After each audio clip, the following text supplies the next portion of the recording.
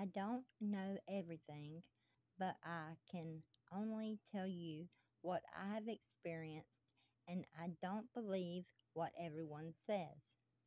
I have a mind of my own and a brain to use to know not to take for a fact everything that I am told. I only share what I find out because it's new to me too.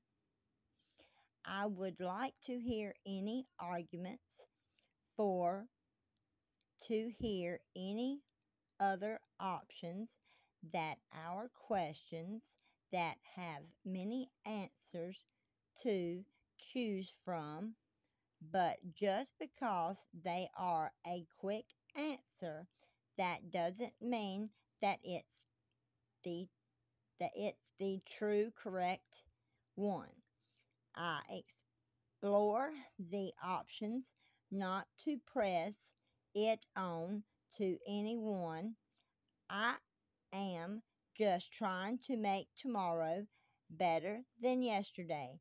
But I do know in order to do that, I'm not going to ignore the truth and leading astray less educated